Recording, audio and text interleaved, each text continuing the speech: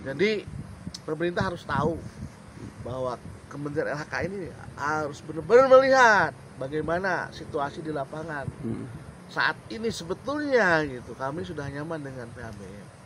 Begitu. Ada apa, apa namanya tuh? SK 287 gimana nih?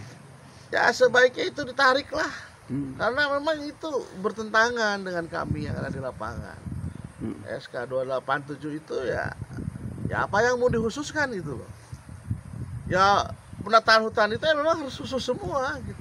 Atau Ah. ceritanya lain kalau ini kan di Cianjur. Ya, Berbicara di daerah lain mungkin eh, penting itu KHDPK. itu. nggak juga sama saja mau di Karawang karena hutan ini kan milik kita bersama yang harus kita selamatkan.